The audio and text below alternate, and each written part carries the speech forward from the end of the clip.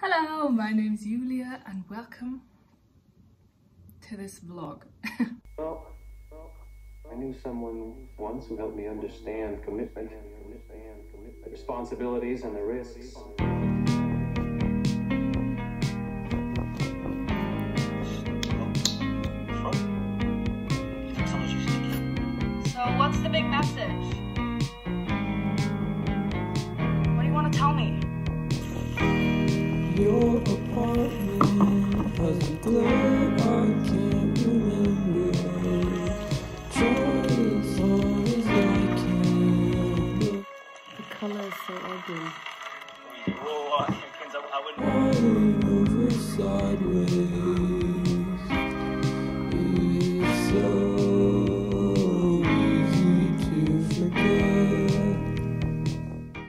So I watched Locke and Key over these few days, season two, and it's an amazing show. I love it so much.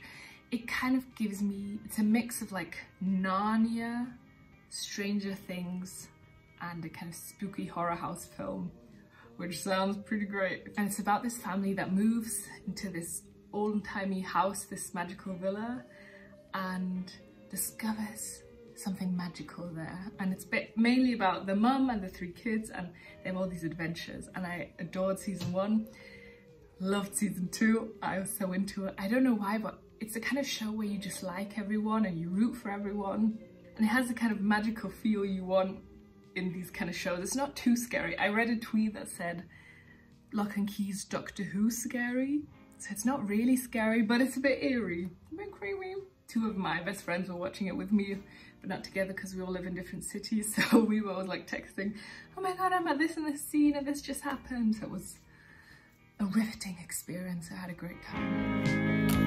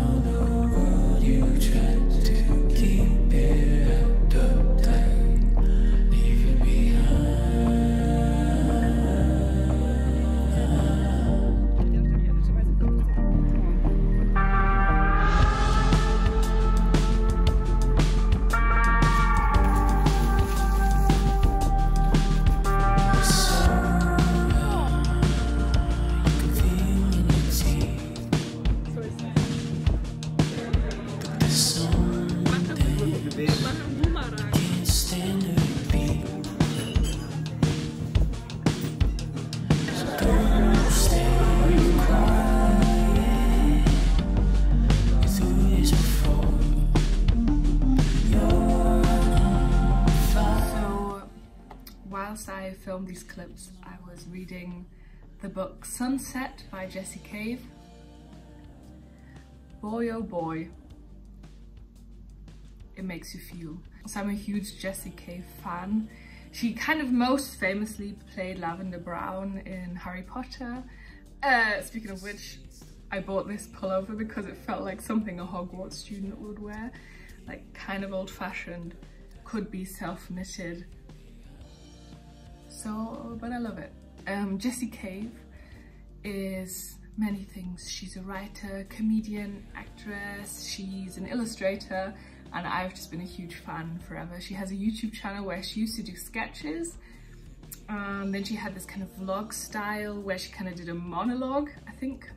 And now she does like a podcast with her sister, Bebe Cave, who's also very, very cool. What I really like about them is that they're so honest and real and every kind of flaw they have whereby they can be bitchy or they can be rude or they can have a bad day they just openly talk about it and deal with it and are like too ashamed. I feel like all my life I've been kind of hiding negative sides of myself.